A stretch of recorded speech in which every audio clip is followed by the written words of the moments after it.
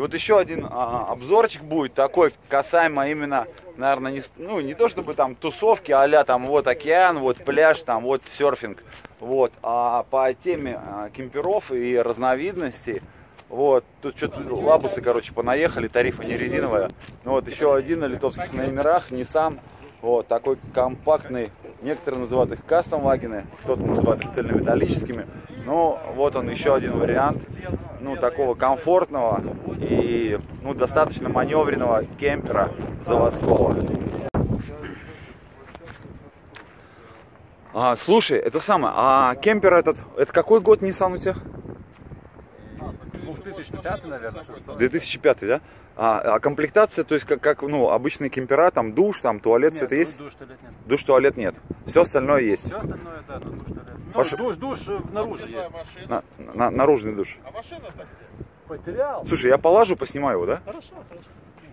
Там он Грег кричит, где машина, просто чувак, а, он ездит, короче, с лафетом, ну, вот, во- возит с собой лафет. Ну, для каких целей? Приезжаешь в какую-то страну, паркуешься где удобно, берешь в аренду тачку. Я, кстати, видел немцев, они прямо с собой смарт возят. Вот. А, собираешься на дальнее расстояние переместиться, вот на лафет ее загружаешь и погнал. Вот. А, приехал, запарковался, ну и ну, там лафет отцепляешь, там пересаживаешься на тачку куда-то в город по делам. Ну, у каждого, каждый, каждый по-своему видит такие поездки.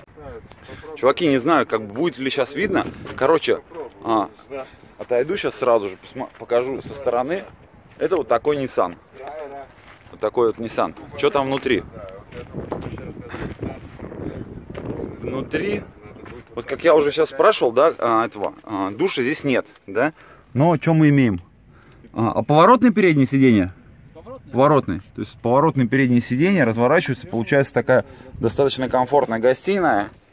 Вот. Со столиком и... А это кастом у тебя? Это, это кастом? Это кастом или заводской? А, э- это, короче, кастом. То есть это сами ребят делали.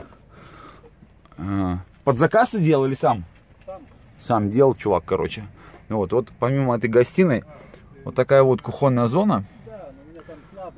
Что мы здесь видим? А, раковина, раковина.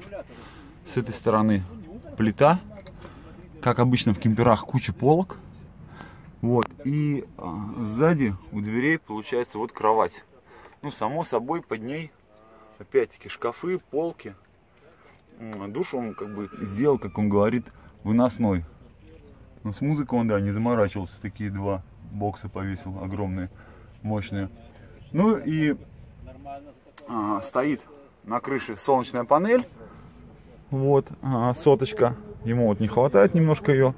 Еще он впер и вот дополнительную, которую он снимает. Блин, немножко неудобно. Надо все-таки, наверное, с линзой снимать. Вот такой вот кемпер. Такой вот вариант.